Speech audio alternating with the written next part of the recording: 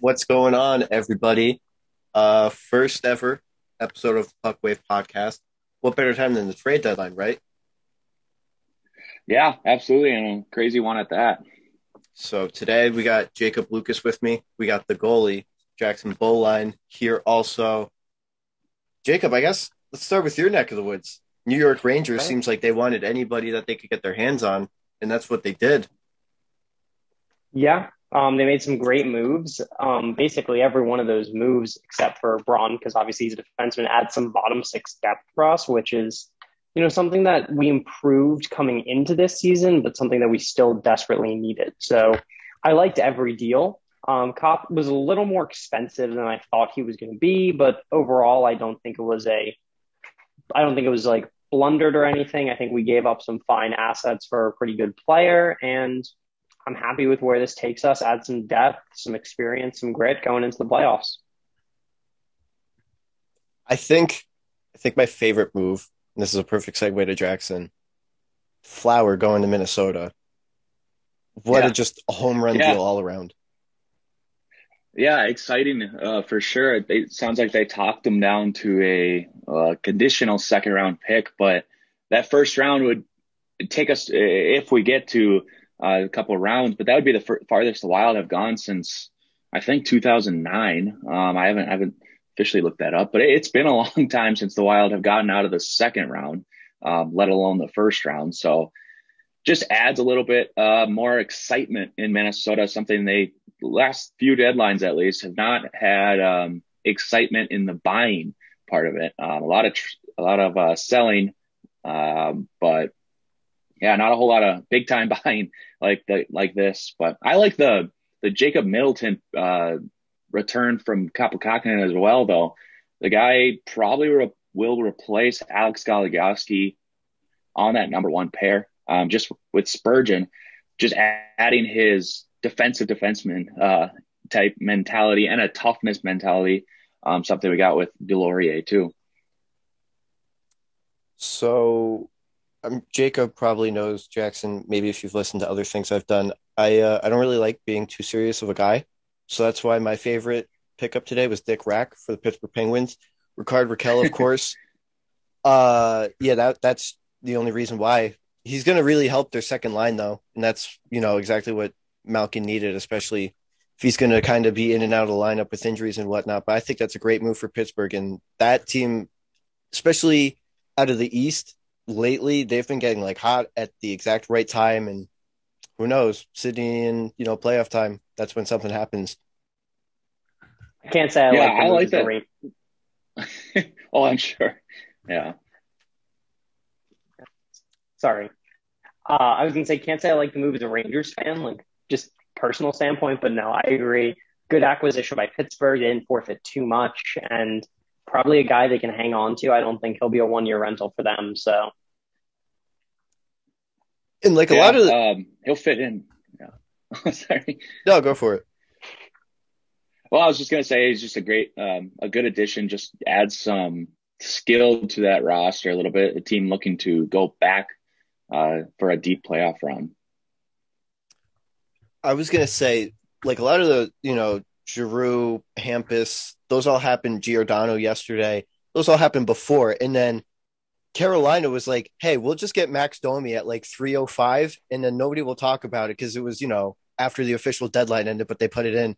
And they gave up like basically nothing for a guy who's going to be a, a key contributor to their playoff run. Yeah. Very complicated in terms of how that's structured out with like three teams and some prospects and Yeah, and like money. Cap had to It- go to different teams. Yeah, that that one was a little a little weird. I don't understand it too well, but I mean, I agree. Carolina did not forfeit much to get Domi, and that surprised me. I thought Columbus was going to try and get more for him in return. We'll get to Yeah, trades he, of. he hasn't had the success. Yeah. Oh no, Well, I was just gonna say he hasn't had the success um, that he saw more in his Coyote years, and uh, but yeah, I mean he he's definitely a player that brings some grittiness uh, to a a Carolina team that has been good but a little inconsistent this year. let's talk about like what I just said. Team players that went past few days. Obviously, the Giroux one. Jacob and I hate Philadelphia, but you know, we just I want to see him like make a, a good run. I don't I don't really need the ginger to get you know a, a ring per se, but you know I want him to go at least to the playoffs, which he will in Florida. But besides that, what move made non today was your favorite? Not. Mark Giordano, that was yesterday, wasn't it? Yeah. So, I mean, that would be probably my favorite. The Leafs needed something. Um, I mean, this has not been a very intriguing year this for them this year. They're used to the regular season success, and they've been kind of slumping. And adding a defense with the struggling goaltending should help. Question is, does it get them out of the first round? I have no idea. I mean, like I said, they've had the regular season success to get out of there, but the last the, the last couple years, but uh, they still haven't. So I don't know. Yeah, I mean, all jokes aside, um, I mean, it's it's so easy. It's so easy to make jokes about that. I think that's a really good pick. Um, I, again, being a Rangers fan, like tough to say this.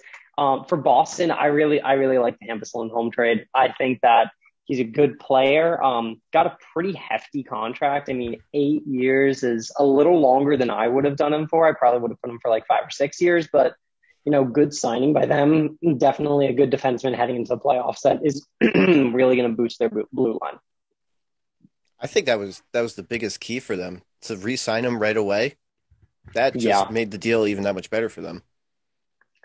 Yeah, and then with the Jake DeBrusk extension, I was sure DeBrusk was going to go at the deadline, especially after Lindholm, and then he's sticking around. Yeah, it sounds like it's going to be like a, tra- a sign and trade this offseason. Um, by the sound of it, I mean, I think his his trade request is still there. So from what I've read. Yeah, at this point, he just has to hope that like they win a cup or something, right? And then he'll be like, "All right, yeah, can I yeah. leave now?" yeah, I but mean, yeah, I think that's. I was just gonna say, waking up this morning and seeing that like he signed the extension, I was like, "Oh yeah, then that team will definitely you know want to take that on," but I guess not. Yeah, yeah. What about what was the move? It could have been done, you know, past few days today that you two are just like, why? Why would they do that? Oh, I mean, the return is big, but for me, it's kind of the Hagel trade. I mean, don't get me wrong, Chicago gets two first rounders and two good prospects. However, Hagel was like one of the few young bright spots Chicago had. And I was I mixed on it because you get a good return that will like help you help you develop in the future. But at the same time, you have a young guy who's doing good, could help foster other young talent. That to me was just a little bit don't, don't didn't complete I half understand it, half don't. Overall don't love it. Yeah, that makes sense. Um yeah, it's just kind of a weird situation. He's kind of came out of nowhere. Uh, last year had a really good season, and then this year just continued it. Um, you just got to think: is it because of the success, like playing with some really good players uh, with Chicago on that line? But I don't know. He he seems like a great player. Every time I've watched him, he's just he's a quick, uh, smart hockey player. And yeah, I mean they got a hefty return for him. That's for sure. Definitely. I don't. I, I mean, this doesn't add to you know a trade I don't like, but I don't know how Tampa Bay keeps doing this. Like I understand yeah. picks in sports, especially if you're going to be in the playoffs and like the Lightning making very deep runs. First round picks are like relevant to you, but just like one day they're going to look back and be like, "Wow, you know, maybe we should have had a first round pick, you know, not for or not traded five straight first round picks or whatever." But I mean, it's working for them, so I guess you know, I can't really uh knock it yet. When's their next one? 25? Yeah, because they or traded this year's is gone probably, and then the next two. So yeah.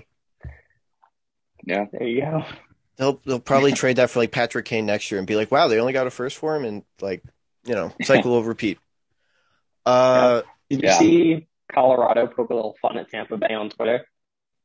What'd they do? They said like uh, Colorado tweeted something to the effect of like, don't worry, we're within the cap, not using LTIR. Yeah, that that whole we could talk about that for hours, but uh That could be a whole episode. yeah. Obviously, I'm going to keep it close to home on this one. Why didn't the Devils do anything? The Devils social media team Yeah. all day was like, "Oh, you know, we don't control the tape, blah blah blah," and then they're like, "Hey, we got the Hamburglar." It's like that. You can't have it both ways. like that doesn't satisfy my need for anything. The Devils had like four players that they could have gotten like a good return for, and they just did nothing.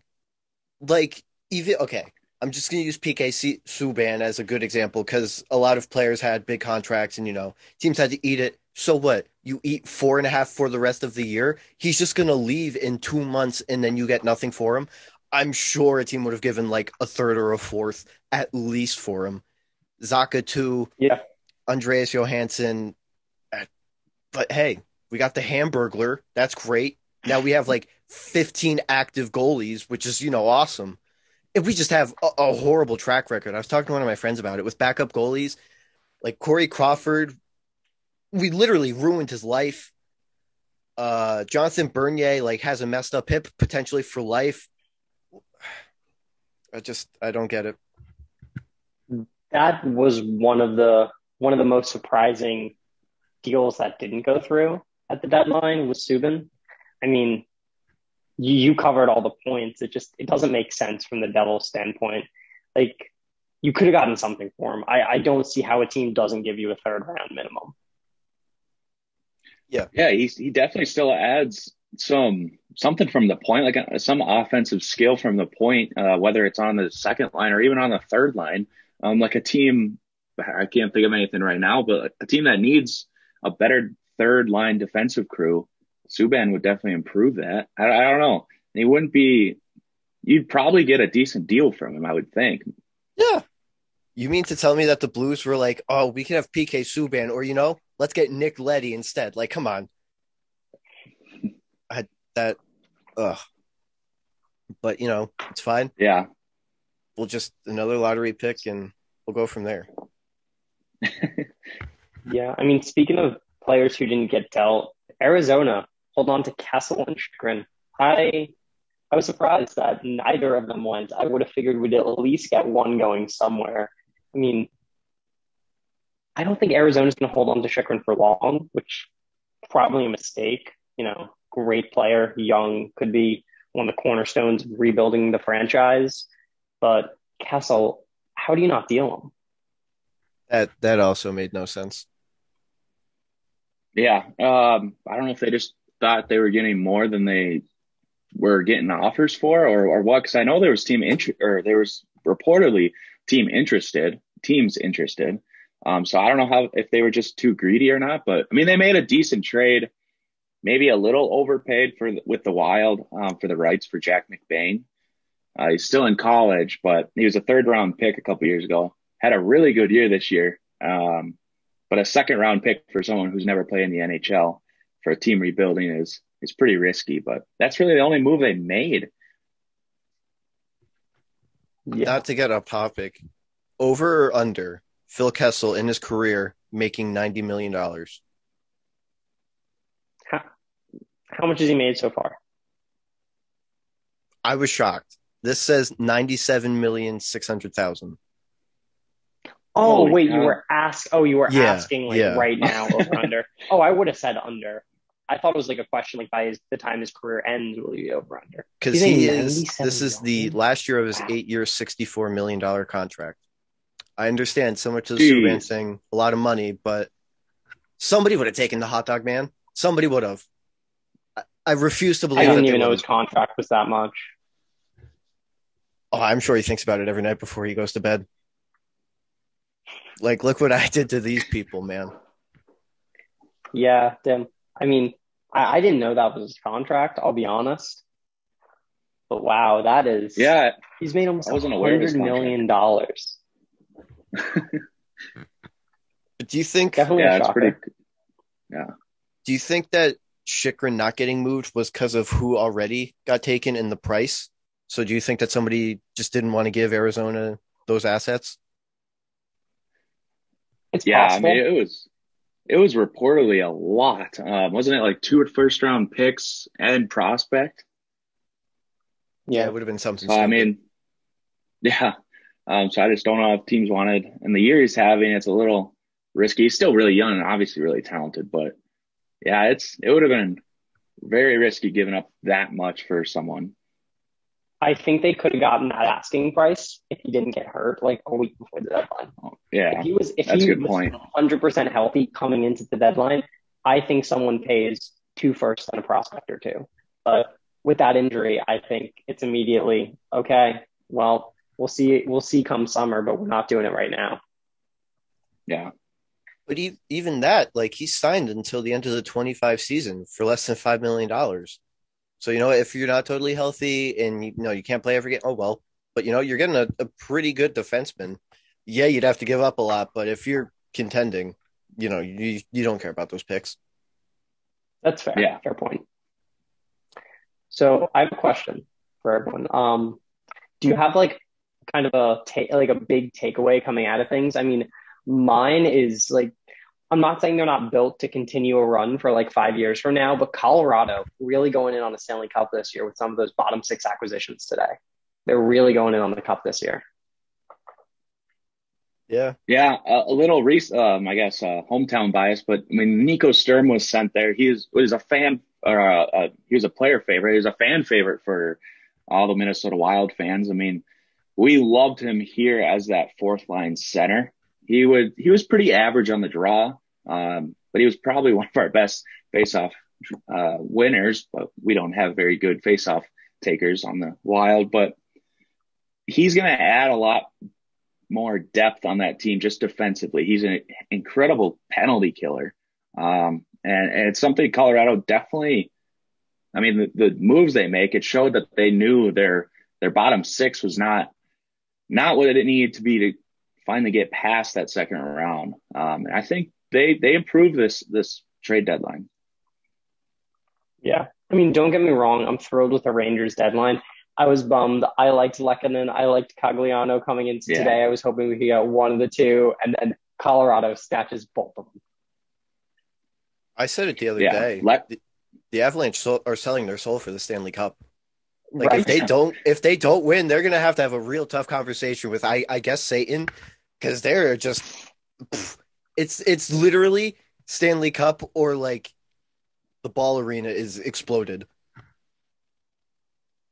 Yeah, I mean it's been a couple years now of the, they're being the favorites. Like they're they're the money line favorites to to go in and be that Stanley Cup winner, and they just cannot get past uh, the second round, and they, they're pretty sick of that, I'm sure.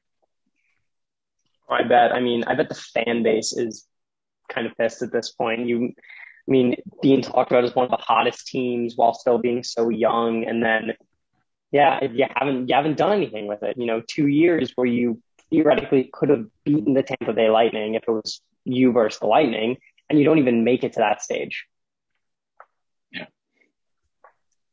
So don't even make it to the Western Conference Final last year. Yeah, that's yeah. okay. COVID year doesn't count. Um, my big takeaway before, like I said, the Avalanche just kept going and going. I really, really thought JB when the Wild got Flower, I convinced myself. I was like, the Minnesota Wild are going to be in the Stanley Cup this year.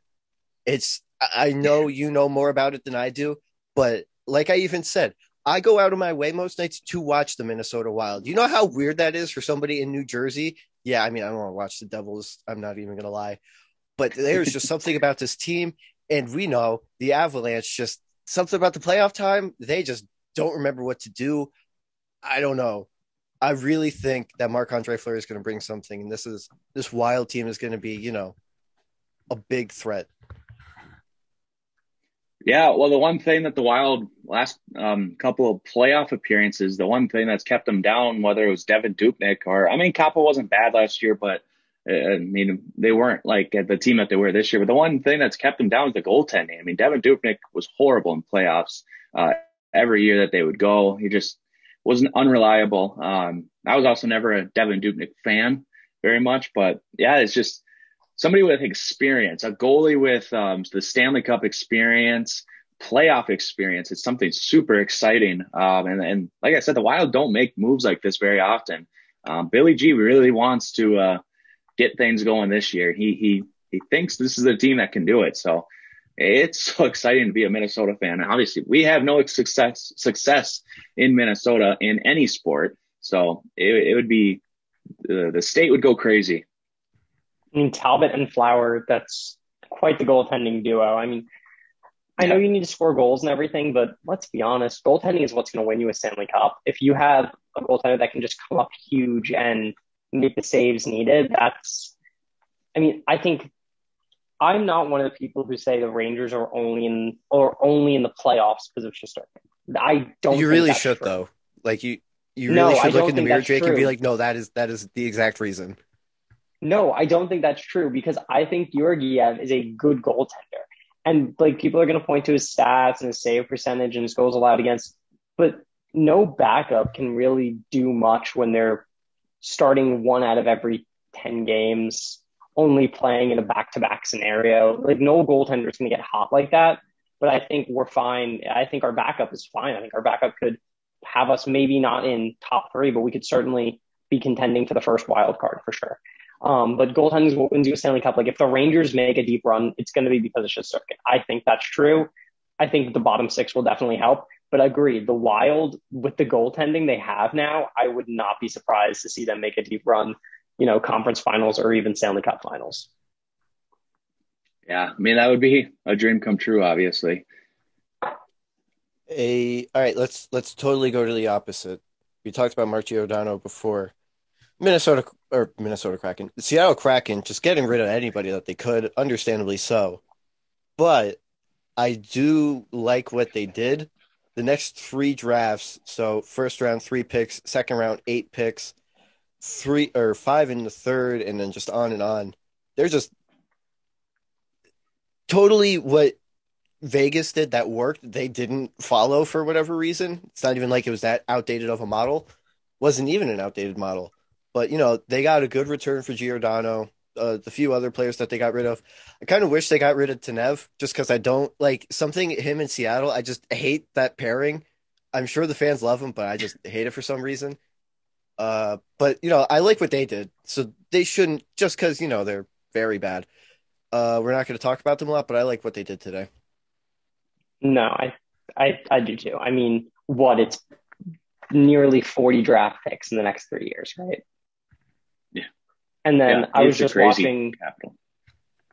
Yeah, I was just watching ESPN or NHL Network. I can't remember which one it was on, but one of their like draft or uh, trade deadline day specials, they had uh, Francis on, and he said he does not plan on using every draft pick. He does not plan on making a selection. He wants to deal some of those picks for some talent. And I mean, I think that they're doing a great job of getting all the capital they need to make, you know, two or three moves, get some more experienced players, and then draft some good young prospects.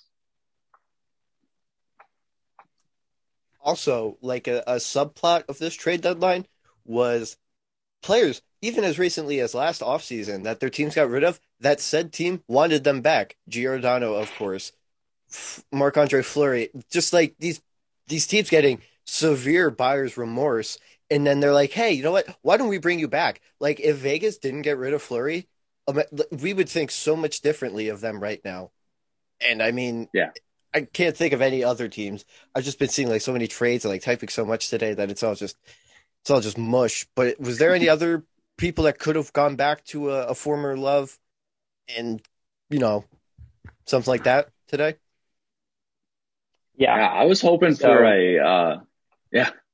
Well, I'll go quick. The, I was just hoping for a Mark Giordano uh, return. I mean, he obviously went to Toronto, but I was really hoping he was going to go back to Calgary um, and hopefully go for a run, something he really didn't do with Calgary for his time um, there. But I was hoping he'd go back and, and enjoy their success too this year. But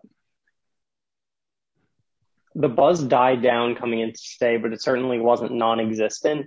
I really thought that we might see a JT Miller return to New York. And I still think that there's the chance for that to happen over the summer. I mean, we held on to a lot of our more valuable prospects and, you know, we dealt away a couple picks, but we held, we still have some good high picks. We have some valuable prospects and I could see us making a run and trying to deal Strome in a package with a couple other people and bring JT Miller back in the offseason. I thought there was a chance it could happen today. Obviously not, but that certainly looked like it makes sense for the Rangers trying to bring in that star player to help a second line. Yeah. Um, JT uh, Miller was one I was surprised didn't go today. As what's that happen? Like not a lot did, if that makes sense. Yeah. Yeah, it was a lot more kind of surprising names. Um, a lot of names that we thought were going went, but a lot of names that we thought for sure were going, like, I mean, like the Phil Kessels. It wasn't really any uh, flame to the fire. And it, it wasn't a lot of like, oh my God, I can't believe blah, blah, blah got traded. It's like, oh, wow, you know, the Avs really filled out their team. The the Rangers got a lot of good depth. It was a lot of really practical trades, and nobody's gonna like you know be eating cat food because they traded everything to get one guy. All right, I mean, it's you know favorite hypothetical. Now that the trade deadline's come and gone, we feel like we know these teams and how they're going to adapt to their new situations. So, I don't know, three months from now, yeah, a little less two and a half months from now, who's going to be playing for the cup, boys? Everything in me wants to say Colorado. Everything in me wants to say Colorado, but and they have the rocky. Historically, they have a rocky playoff experience, and I don't know if they're going to do it. Um, I'm going to say Colorado because just on paper and the way they've been playing throughout the regular season, they're doing great. But I wouldn't be surprised if, you know, they do a traditional collapse in the playoffs and fall in the conference finals or even in the second round. Um, from the East, I think it's Florida. I think Florida's coming in. I think they're going to knock off the Canes. They're going to knock off Tampa Bay. I don't think it matters who they play. I think they're going to the finals. So yeah, I'm, that was my answer too. I mean, I'm going to stick to my my preseason uh, predictions. I had Florida winning the cup, and I'm going to stick with that. The only wrong thing I had was Spencer Knight winning Rookie of the Year. That is far wrong. Um, he's had a difficult rookie season to say the least, but as long as Bobrovsky can get them through a playoff, which he's done before. Um, I mean, he's he was pretty good with Columbus, uh, or he was really good with Columbus, but through playoffs, um, he had a couple great playoff runs as well. But I, I just think it's all on Bobrovsky. I mean, the, the offense is good enough. The defense is good enough. They have the star power. Florida would be my pick too, still. All right. I don't, I don't want to be like you too. I kind of want to, I kind of want to go not like totally different just to be different, but what I really feel in my heart. Uh, I want to say the Avalanche, but I don't know. Like I said before, the Minnesota Wild, something about them. And yeah, I guess to, to boost Jackson's ego a little bit, but something about them. and I'm not just saying it because like one of my like better friends is is a Penguins fan, but I something about the Penguins, man. They're gonna. Yeah. W- I don't know. I can't even like articulate it. It's you watch this team getting Rakell. It it's something they're putting the pieces together to make a deep run. And I mean, like Florida, you can't go wrong with them either. I think this Giroux deal just helps them even more. But I mean, just the East in general, I feel like if you said one or one through eight, you wouldn't be like, oh, you're an idiot. You know, this East is just so loaded this year. One hundred percent. I mean, um, and after after the deadline, it's just even more disgusting than one would have thought. And I yeah. like, I mean, not every team has a chance, but like, there's even like Detroit. I feel like could get into the second round if they made it. They're not going to, but that's just how good it's been. Yeah, I like the Penguins a lot um, too, definitely, especially I mean after this trade them, but they have the goalie uh, Tristan Jarry to get them through. He's had a, a heck of a year, and I mean they have one of the most underrated defensemen, John Marino. Um, yeah, they just they're they're a sneaky team too, and obviously with their success, you can't count them out. Yeah. So I think we'd be remiss to do a trade deadline podcast without talking about Kevin Weekes. True. This man doesn't care where he is. He's just dropping bombs everywhere. It yeah. The power of hockey Twitter even got it to make the ESPN trade deadline special. Bucci showed him yeah. like six or seven of the best ones. One of them, this dude was on Mount Everest reporting live. yes, and you see the one with the garbage can? That was just that was yeah, hilarious. I mean, like at that point, it's like crazy how like they even said the power of the internet. Just like a couple people who like hockey and tweet about it, and then it like makes like this dude had a trash can on literally his Christmas, but we loved it. That's why we, you know, we love the sport. We love Kevin Weekes, but yeah, he by far stole the trade deadline. Yep. 100%. I saw I saw a response to one of his one of his trade like bombs and and the NHL Network social media account like even responded to it. It was a picture of some random scuba diver and it's like Kevin Weekes during the next tweet. And at this point, I wouldn't be surprised if this man's just on a boat somewhere and he's like, "Well, we have another trade."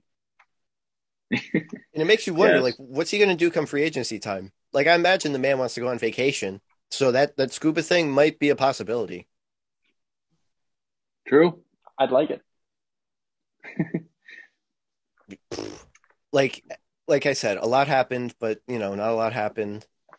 just so much sports lately, so like my mind is just fried. Yeah, is there is, is there anything we missed?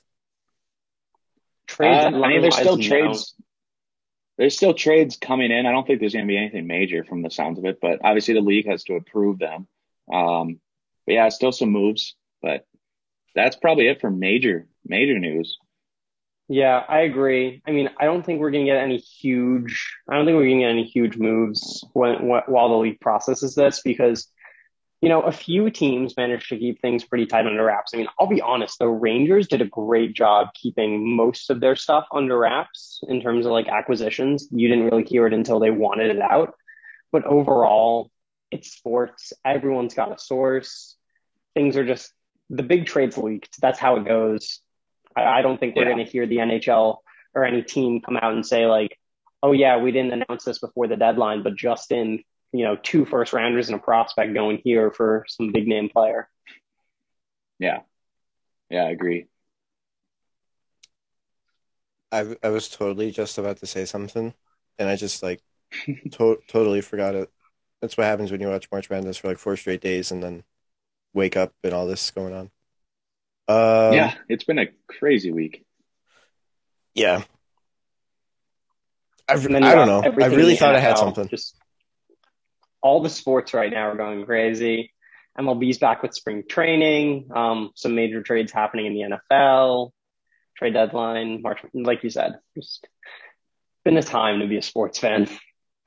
Yeah, yeah, it's been fun. And we got the NCAA tournament coming up.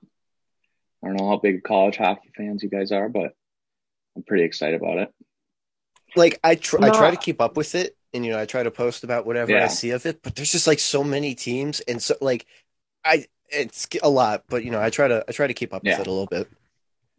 I do a really bad job of keeping up with it, but I want to, uh, like, I don't really watch it if I'm being honest, but I want to check it out now that the tournament's rolling around. I want to make sure I catch a few games.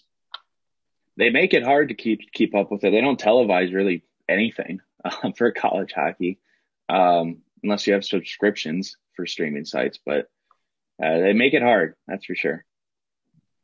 Is there a uh, team we should be on the lookout in the tourney? Um, well, I think Minnesota State, uh, Mankato has they have the probably the best goalie in the tournament, um, Dryden McKay, and then I like Quinnipiac. Um, I think they are slept on um, a lot, but obviously UMass too the defending champions. I think they get by Minnesota pretty easily. We'll, we'll see. I don't like the Gophers. I have a very big hatred for Gopher hockey, so maybe a little bias. UMass just won the Hockey East. I know that. Yeah. And I know Quinnipiac's good because Theo yeah. Beckman, TSW friend, goes there, and they're apparently pretty good. I like I like Quinnipiac. I didn't even know. Like, I'm not even gonna lie. I live not too far from there. I had no idea they had a hockey team before this year. yeah, they were. Where they? I think they got to the Frozen Four last year. Huh. Pretty sure they had a good run um, last year. But, but yeah. But yeah, I mean, what a. We'll obviously iron it out. We'll get to get to know each other a little bit better. But uh, that was episode one. TPW pod. I don't like saying like the full name because that's just like a lot of letters and characters. TPW Pod, just six. Boom, it's quick and easy. Uh, you know, follow us on Instagram at the Puck Wave. I mean, I don't know how often we're going to do these as often as humanly possible. A lot of people have a lot of different schedules, yeah. but I mean, you know, the best time of the year is coming up, and so look, look at the people, the information they need to know, and you know, stay up to date on the IG and whatnot. And uh, yeah, I mean, you guys got anything else you want to say? No, no, nothing to add. All right, looking forward to some playoff hockey. I mean, yeah. we still got still got a little bit of the regular season, but you know, we do know who's going to be there. So now it's just the formality. We just got to play. The there was a finalized trade, and I dropped my phone, but the Ducks finalized something. So, yeah. All right. Well, like I said, I don't know when we'll be back, but stay tuned. Follow us on Instagram. You'll know when the next one is. And we're out. Awesome. Yeah.